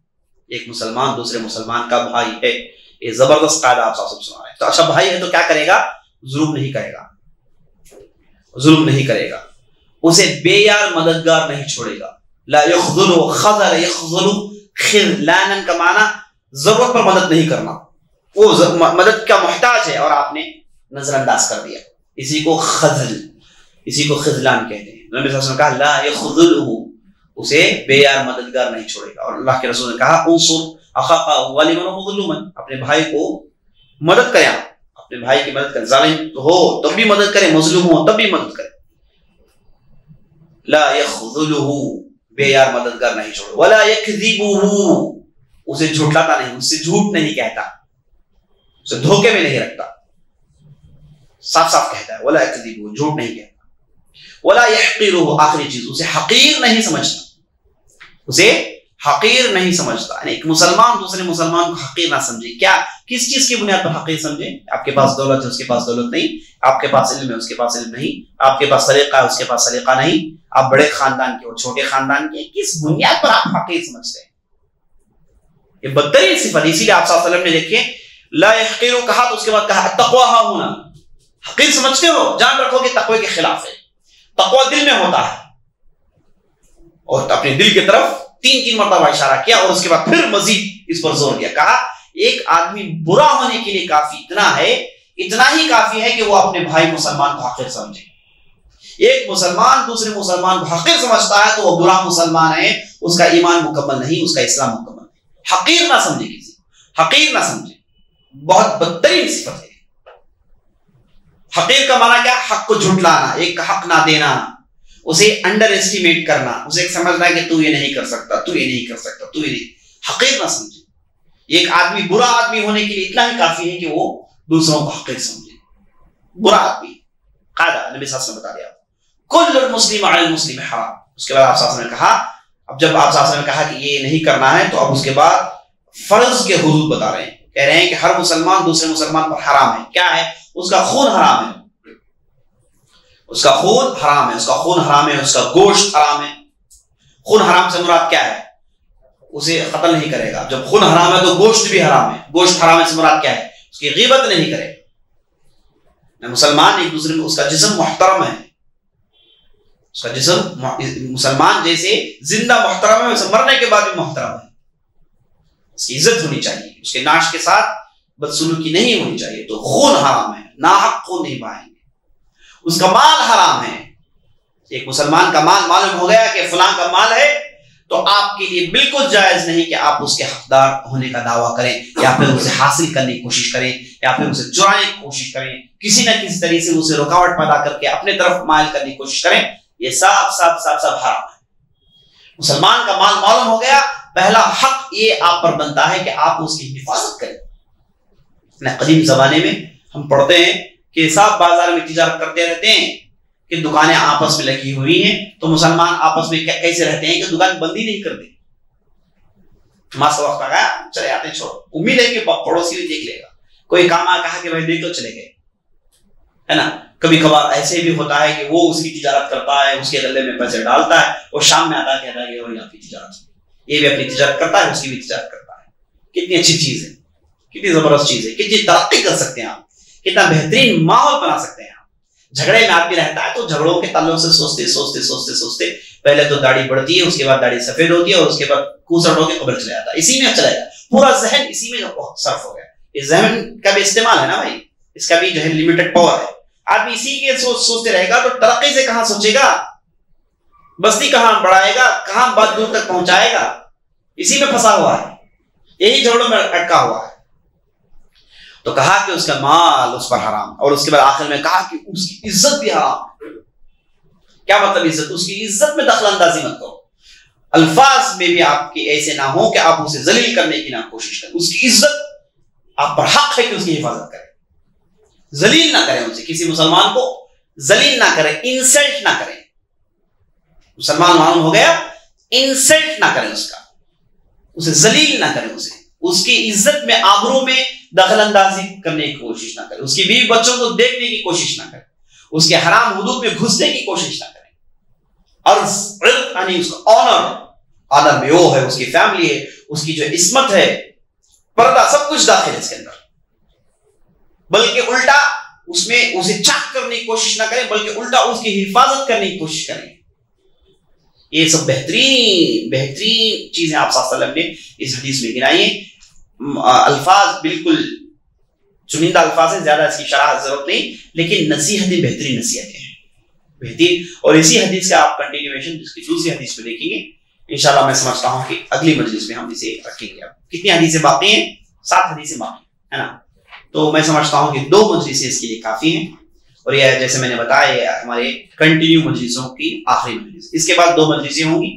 हम इंशाल्लाह आपको गालिबन आइंदा जुमेरा, जुम्मे कंफर्म नहीं, हम कंफर्म करेंगे इंशाल्लाह दो मजलिस हमको मिल जाए तो इंशाल्लाह ये मुबारक किताब को हम ख़त्म कर सकते हैं। तो अल्लाह से हम दुआ करते हैं कि हमने जो भी सीखा है, जो भी कहा है, इस पर अमल करने की कोशिश करें। तोफ़ीक दें और उसके बाद ऐसी मजलिसों को बार बार जमा करने की तोफ़ीक दें और ऐसी भी बातें सीखते और सिखाते रहने की तोफ़ीक दें। आमीन या रब्बल आलमीन। एक ऐलान।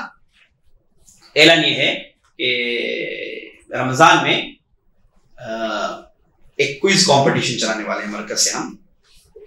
इसमें अबो एटीन अंडर एटीन दो हमने इसके ग्रुप्स बनाए हैं। शायद इधर अबो एटीन के लोग ज़्यादा हैं। तो अबो एटीन के लोगों के लिए एक किताब मुकर है क्या किताब है भाई? हाँ? Ministers of the profit ministers of the profit एक किताब मुकर है। इसे मटेरियल आपको दिया जाएगा। इसे मटेरियल आपको दिया जाएगा। आप कांटेक्ट में रहें। तो ये कंपटीशन पहला प्राइज क्या है? इसके ताल्लुक से कुछ बताएँ। पूरी तफसील आएगी तो जो ये कंपटीशन में जमना चाहते हैं अपना नाम दर्ज कर दें ये कहना। दूसरा ऐलान बहनों के लिए मैं वाकई तह दिल से माजरत खा हूँ माफ़ी चाहता हूँ कि हमने उन्हें बहुत ताखिर में डाल दिया। हाँ, ये वक्त तक वो बैठी रहती हैं ये उनके ईमान का जज्बा है इल्म सीखने का जज्बा है। अल्लाह से हम दुआ करते हैं कि अल्लाह ताला आप लोगों के बेटों को कबूल फरमाए आप लोगों के मसाइल को आसान करें। आप लोगों की जिंदगियों को खुशगवार बनाएँ। हम माफ़ी चाहते हैं कि हमने इतनी ताखिर की, क्योंकि हम भी मजबूर हैं।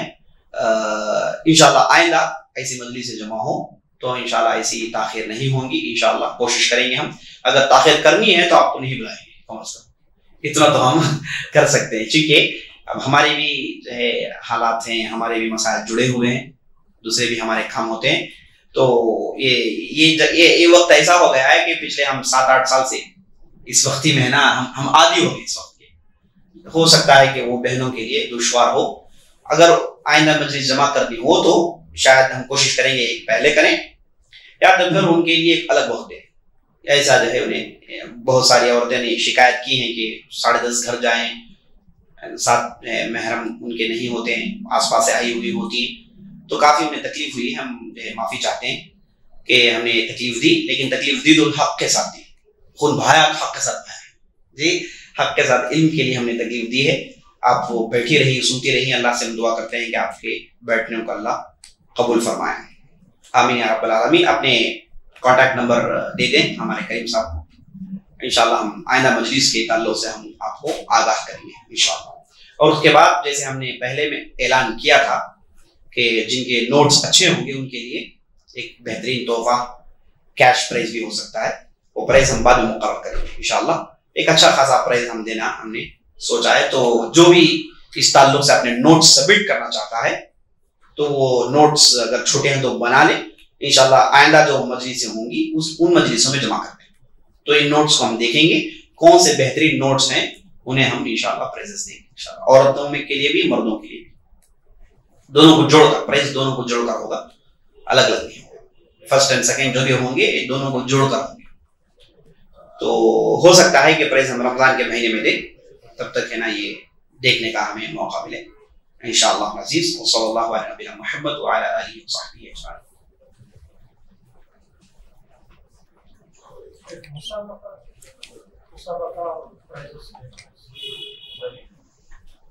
नहीं, इसमें मुसाबका है ना। मुसाबका की ममानत की कोई दलील नहीं है।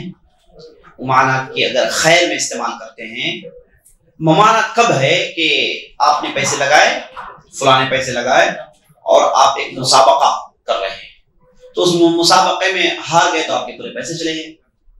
जीतने वाले को पूरा मिल जाता है तो ये इसमें मुमानात है। वरना ये कुरानी मुसाबका है जिसमें आदि पैसे वगैरह लगाता नहीं, बल्कि वो अगर आगे आता है तो उसे हिम्मत अफजाई के लिए बतौर तोहफा देते हैं। इस पर सारे कदीम दौर से अमल हो रहा है। अगरचे के पास लोग इसमें इख्तराफ के कहा कि ऐसा नहीं होना चाहिए। लेकिन जायज़ है, खैर है, जायज़। खैर है, जायज़ है। और आदमी पैसों के लिए थोड़ी आदमी है ना, ये दीन सीखेगा। पैसों के लिए तो नहीं होता है। पैसों के लिए कुरान यूज़ नहीं करेगा, हदीस यूज़ नहीं करेगा। पैसों के लिए ऐसे कोर्सेस में नहीं आता है वो। वो जब आया है तो उसे हिम्मत अफजाई के लिए एनकरेज करने के लिए ऐसे तोहफे दिए जाते हैं। हासिल करने वाला खुश होता है नहीं हासिल करने वाला वो भी खुश होता है। ये पैसे आने जाने से कुछ भी होता नहीं है।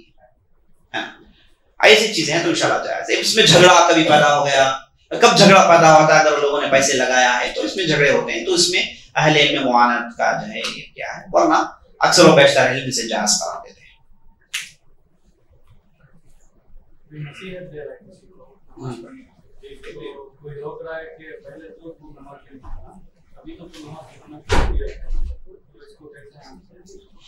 सवाल ये कर रहे हैं कि किसी से किसी ने कहा कि भाई चलो नमाज़ पढ़ो तो लोगों ने कहा कि भाई तुम नमाज़ का हुक्म दे रहे हो। तुम तो अभी अभी नमाज़ शुरू किया जुमा जुमा आठ दिन आप नमाज़ शुरू करके। आप अपने कदीम जमाने में नमाज़ नहीं पढ़ते। अब आप लोगों को नमाज़ की तरफ़ रहे हैं। तो ये ये बात ही बेबुनियाद है। ये बात ही बेबुनियाद है। दूसरों को बुलाना ये शरीयत का दिया हुआ हक है। कोई रोक नहीं सकता। आपसे कहिए कि शरीयत ने उन्हें, मुझे हक दिया है कि मैं लोगों को अच्छाई की तरफ़ बुलाऊं। शरीयत का हक है, ये हक कोई नहीं छीन सकता। ना मेरे माँ बाप छीन सकते हैं, ना कोई दुनिया की कोई ताकत छीन सकती है। अल्लाह का दिया हुआ हक है। जब हक है, खैर है तो मैं बुलाऊँगा अगर खैर नहीं है तो आप मुझे बताइए कि खैर नहीं है। आप मान रहे हैं कि खैर है और उसके बाद आप मुझे रोक रहे हैं क्यों? तो आप रोकना ही बेबुनियाद रोकना तो यह हक अल्लाह का दिया हुआ है कोई इसे आप रोक नहीं सकता। हाँ भाई ने गलती हुई। फिर ऐसे ही किसी साहब ने मुझे बताया तो मैं दुरुस्त हो गया। तो मैं चाहता हूँ कि मैं दूसरों को दुरुस्त करूँ। और नबी वसल्लम ने खुद कहा कि मनसन सुन्नतन फिल इस्लाम में फलह अजर। वो अजर मन आमिला भी। अगर किसी ने इस्लाम में कोई सुन्नत की तरफ़ बुलाया है तो उस पर अमल करने वाले का अजर किसे मिलेगा? और तब तक लोग अजर अमल करते रहेंगे, तब तक अजर इसके हिसाब में आते रहेगा। तो ये इस्लाम ने बताया इस्लाम ने अच्छाई का हुक्म देने से उभारा है ये इस्लाम का हिस्सा। तो कोई ये रोक नहीं सकता। हाँ मैं पहले कर रहा था मैंने तो तोबा कर लिया। तोबा तजुमा कबला मैंने तोबा कर लिया है तो मेरी पूरी बुराइयाँ नेकियों में कन्वर्ट हो गई इंशाल्लाह। तो अब मैं नमाजी हूँ चाहता हूँ कि लोगों को नमाज़ की तरफ़ तो उनकी बात बेबुनियाद है। वल्लाह हम्म, वही एक खुद दुकानदार दाखिल है। ये पहले किस्म दूसरी किस्म बाज़ार में से लोग होते हैं। दुकानदार तो सीधे इन्वॉल्व नहीं है। बाज़ार में से लोग होते हैं जो कीमत को बढ़ाते रहते हैं। है ना? अब खजूर की कीमत है। अब चाह के मंडी वाला चाहता है कि खजूर की कीमत बढ़ जाए। कब बढ़ेगी? खरीदने वाले ज़्यादा नहीं तो बढ़ेगी। तो बाज़ार में लोगों को घुमाता है। जाके वो दुकानदारों से बात करते हैं कि बड़ा कीमत बड़ा बड़ा कीमत बड़ा बड़ा और उसके बाद कस्टमर जाते हैं, फिर बड़ा बड़ा के बेचते हैं तो उसके बाद लोग आदि हो जाते हैं बड़ा अमाउंट देने के लिए। और बड़े कीमत में बाद में खरीदते हैं तो खुद बहुत उसे फ़ायदा हो जाता है। ऐसे बहुत सारे टैक्टिक्स होते हैं। और इस्लाम इन तमाम टैक्टिक्स के जड़ों को काट दिया। तो इसीलिए नजिश का काम करना जायज़ नहीं।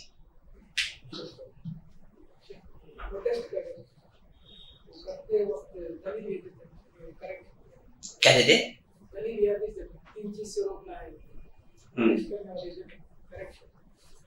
सवाल ये कर रहे हैं कि जो लोग प्रोटेस्ट करते हैं, वो अपने प्रोटेस्ट को साबित करने के लिए ये मनरा को मुनकर की हदीस बतौर दलील देते हैं। नहीं प्रोटेस्ट आदमी क्यों करता है? प्रोटेस्ट आदमी सड़क में आकर मास दिखाते हुए इस वजह से करता है कि बात हुकूमत तक पहुँचे, बड़े जिम्मेदारों तक पहुँचे। क्योंकि हमारे जो बड़े जिम्मेदार हैं एक दो चीखे तो उन्हें नज़र नहीं आता। है ना? उम्मत मिलकर परेशान हो तो ही वो बात मीडिया में आती है तो ही वो बात दूर तक पहुँचती है तो ही ये बात पार्लियामेंट में बतौर सब्जेक्ट डिस्कस करते हैं। वरना एक दो का चीखना कुछ भी अहमियत नहीं रखता। तो बात उन तक पहुँचाने के लिए आप अपनी पावर दिखाते हैं, अपना मास दिखाते हैं। यही प्रोटेस्ट का मसला है। तो वहाँ बुराई में, बुराई को रोकने के लिए कुछ भी नहीं हो रहा। अपने हुकूक मांग रहे हैं। प्रोटेस्ट में होता यह है कि आप पर जुल्म हुआ है तो आप उसे गए, दरवाज़ा खटखटाया, कोई सुनने वाला नहीं।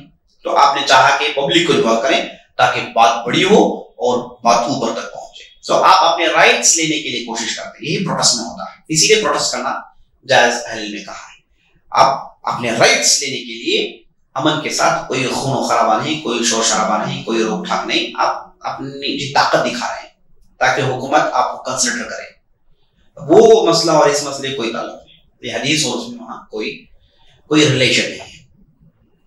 वजह इस्तलाल गलत होगा, ये हमारे माशरे बहुत होता है, खासतौर पर जो हज़रत हमारे पास जो खिलाफत वगैरह के जो दावे करते हैं, उनके आप देखेंगे, हदीस एक जगह होगी और मसला एक जगह होगा। हदीस उस वादी में तो मसला इस वादी में।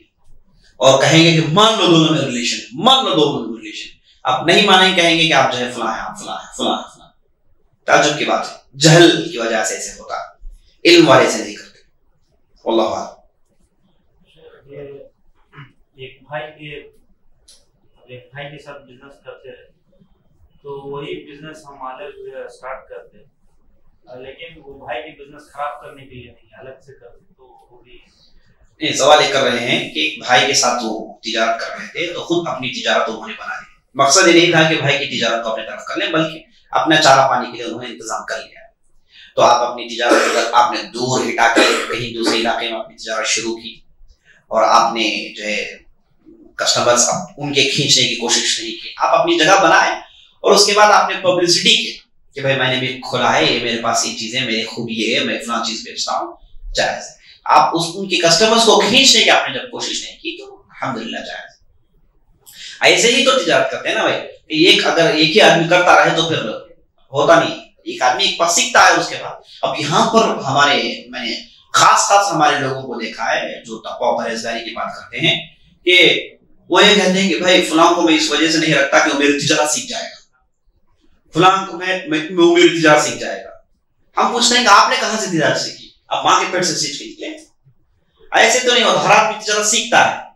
ये ये है ना ये, ये तकदीर में ईमान की कमज़ोरी है। कि आप ये समझें कि भाई वो अगर तिजारत सीख जाएगा तो मेरे चारे पानी में खोटाई पैदा हो जाए। ये ये सोचना ही गलत है। आपको रिस्क देने वाला अल्लाह, ये पेशे के ज़रिए सलाह दे रहा है। ये अगर धंधा हज़ार भी लोग करें, आपको जो मिलना है, मिलता ही रहेगा।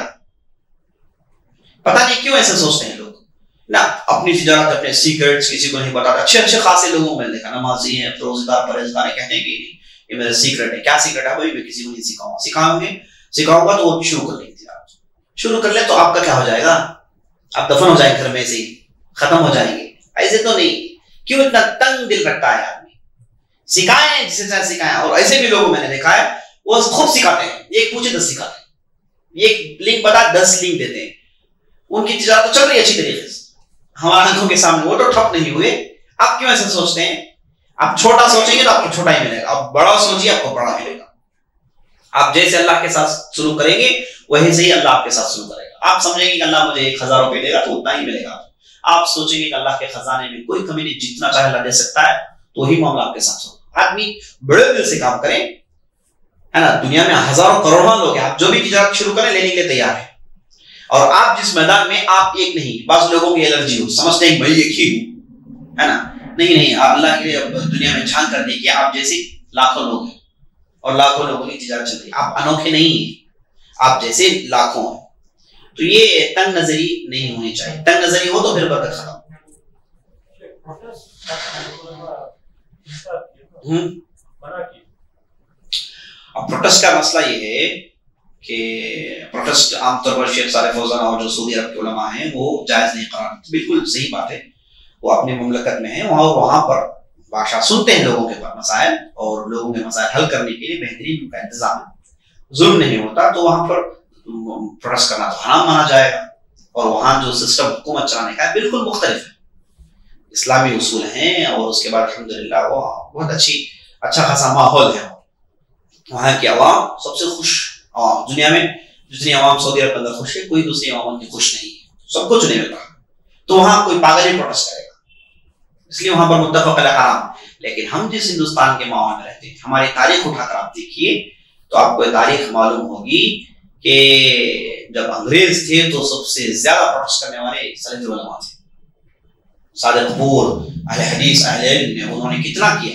सड़क रामलीला के मैदान में कितने मरतबा बाहर निकला तो ये आवाज़ उठाने के लिए कदीम जमाने से हमारे उलमा ने किया है और आज भी हिंदुस्तान का निज़ाम उसी को कबूल करता है। आप, हम देखते हैं कि आप जब तक सड़कों में नहीं उतरते, अपना मास्क नहीं दिखाते, हुकूमत आपको कंसल्ट करती नहीं। हाँ अलबत्ता प्रोटेस्ट के ज़रिए से जो नुकसान होते हैं, उसे रोक दिया जाए कि जैसे खून खराबा है मार धाड़ है, आने जाने वालों को नुकसान है, इन चीज़ों से परहेज करके अमन के साथ अपनी ताकत दिखाते हुए अगर करना है तो जायज़ है और यहाँ के जायज़ करा अक्सर बेशतर उलमा जो हमारे हिंदुस्तान के बड़े उलमा है, उन्हें जायज़ करार देते हैं, इन उसूल और जवाब के साथ।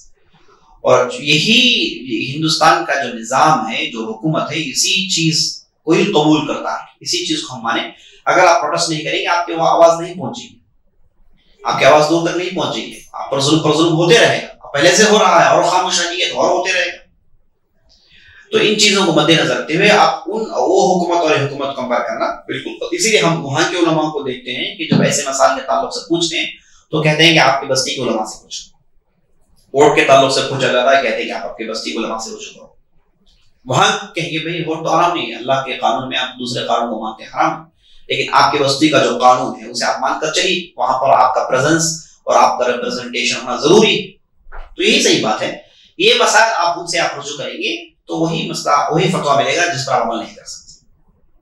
तो ऐसे मसाइल में आप यहाँ के उलमा, जो बहुत पर उलमा है, उनसे रुजू करें और उसके मुताबिक अमल करें। यही सही है।